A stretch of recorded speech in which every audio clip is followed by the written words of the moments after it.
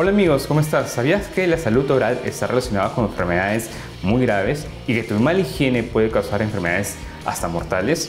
Soy el doctor Luis Pérez de la Clínica Prudent y vamos a hablar hoy de cómo la mala higiene puede influenciar en estas enfermedades incluso mortales.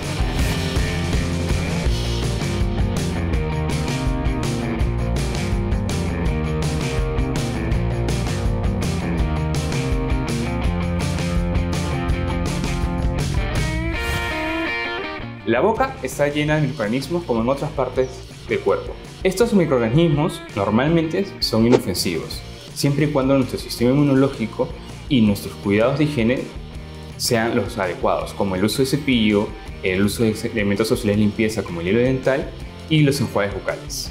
Sin embargo, tu boca puede ser la entrada de muchos microorganismos al cuerpo que pueden inducir a muchas enfermedades, incluso de naturaleza mortal. Es por eso que el tener una inadecuada higiene eh, bucal puede ser contraproducente para nuestra salud general, porque estas pueden entrar en nuestro cuerpo y producir estas enfermedades. Estos microorganismos alojados en nuestra cavidad oral por una inadecuada higiene primero afectan nuestros tejidos de, la boca. Es por eso que tener una mala higiene puede causar que estos microorganismos se eleven en cantidades excesivas y puedan originar muchas enfermedades. En la boca pueden originar lesiones de caries dental y enfermedades periodontales como la gingivitis y periodontitis. Un dato importante es que la Organización Mundial de la Salud estima que 3.500 millones de personas en el mundo sufren de enfermedades en la boca. Por eso es importante mantener una adecuada salud oral. ¿Y cuáles son estas enfermedades que están asociadas a una mala higiene y te pueden causar hasta la muerte? Una de ellas es la endocarditis bacteriana. La endocarditis bacteriana es una enfermedad que afecta las paredes internas de nuestro corazón. Y esto sucede cuando microorganismos de cualquier parte de nuestro cuerpo se alojan en, este tejido. Esto puede ocurrir cuando tenemos una inadecuada higiene oral y la encías se inflama y sangra. A través del sangrado, las bacterias del cavidad oral pueden introducir el torrente sanguíneo y llegar a las partes internas de nuestro corazón, induciendo una endocarditis bacteriana, que puede ser de una naturaleza muy mortal. Otras enfermedades cardiovasculares son la enfermedad cardiovascular per se, la obstrucción de las arterias y los accidentes cerebrovasculares. También pueden ser inducidas por la inflamación producida a nivel de las encías por estas bacterias y la mala higiene, causando que se origine este tipo de enfermedades.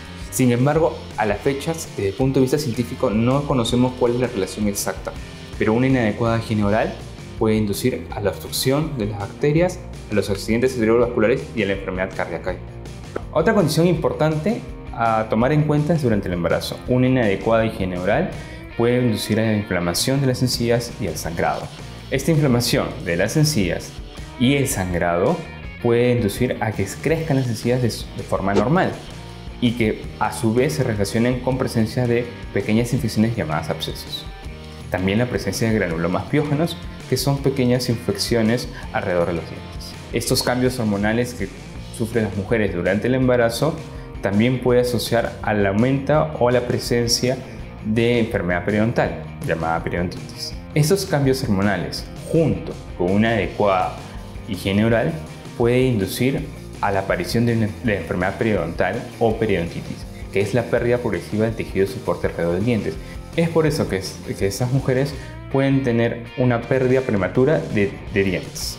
Asimismo, y aunque usted no lo crea, la periodontitis asociada a una mala higiene oral está relacionada con partos prematuros y con bebés con bajo peso nasal.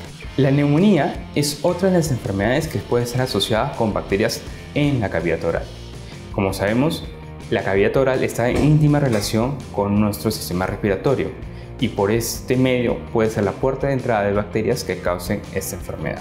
La gastritis, otra de las enfermedades más prevalentes en la población humana, también está relacionada con una adecuada higiene oral. Deben saber que el Helicobacter pylori, una de las bacterias que están relacionadas a esta enfermedad, inclusive el cáncer de estómago, puede alojarse en la placa que está entre los dientes. Es conocido actualmente que la diabetes y la enfermedad periodontal están muy interrelacionadas y que los pacientes con diabetes tienen una enfermedad periodontal mucho más, más agravada que una persona común. Un dato importante es que los pacientes con diabetes y enfermedad periodontal no controlada pueden tener una posibilidad de perder los dientes hasta de un 50%. Ambas enfermedades son crónicas y de alta complejidad, y al día de hoy se ha demostrado que las personas con diabetes y enfermedad periodontal tienen dificultades para mantener sus niveles de azúcar controlados en sangre. Inclusive, la periodontitis es la sexta complicación más importante para una persona diabética. El tratamiento y cuidado de la enfermedad periodontal puede ayudar a un paciente diabético a controlar sus niveles de azúcar. Asimismo, un paciente diabético con niveles de azúcar bien controlados puede ayudar al tratamiento de la enfermedad periodontal. El Alzheimer es otra enfermedad muy importante en el mundo. Según datos estadísticos, afecta a 35 millones de personas y es una de las causas de mayor discapacidad en adultos mayores. Según estudios recientes, puede existir una relación entre el Alzheimer y el estado de salud oral. Se cree que la inflamación causada por la enfermedad periodontal resultante de una mala higiene puede elevar moléculas de inflamación hacia el cerebro, lo cual, lo cual puede estar relacionado directamente con el Alzheimer. También es sabido que las pacientes que padecen de Alzheimer tienen un inadecuado higiene oral, por lo tanto hay una relación directa y viceversa entre el estado de salud oral y el Alzheimer. Es por eso, para combatir el Alzheimer, se recomienda tener una adecuada actividad física, no fumar, tener adecuada actividad social y una adecuada salud oral. En resumen, una inadecuada higiene oral puede afectar gravemente a órganos importantes de tu cuerpo, como el corazón, los pulmones, el estómago, el cerebro y el páncreas.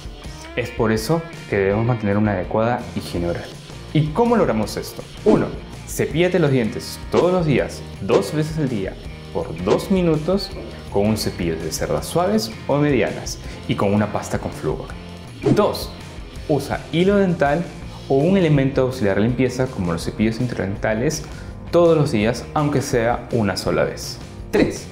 Usa un enjuague bucal, de preferencia libre de alcohol, para terminar a eliminar las partículas que queden en boca después del cepillado y el uso del hilo dental. 4. Sigue una dieta saludable con abundante fibra y baja en azúcares. 5. Reemplaza tu cepillo cada 3 o 4 meses o cuando las cerdas de tu cepillo se encuentren gastadas. 6. Evita sustancias tóxicas como el tabaco. Y finalmente, 7. No te olvides de programar tus citas médicas y odontológicas al menos dos veces al año para una revisión. Aquí en Prodent estamos gustosos de poder atenderte. Los números y las redes sociales aparecen aquí en pantalla. Nos vemos.